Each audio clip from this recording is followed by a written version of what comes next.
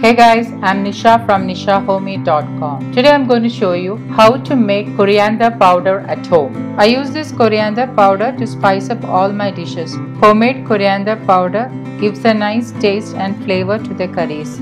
This coriander powder will keep good for about 2 to 3 weeks if kept in an airtight container. I'm lightly heating 1 cup of coriander seeds in a pan. I've kept the flame on medium and stirring the seeds in between so that it does not get burned.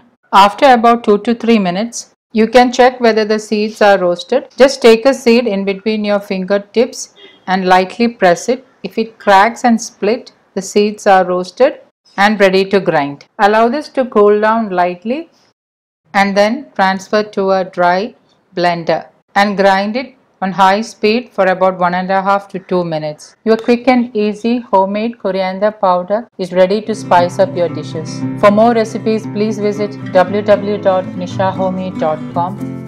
If you like this recipe, please give a thumbs up and do subscribe to my video channel for more video updates.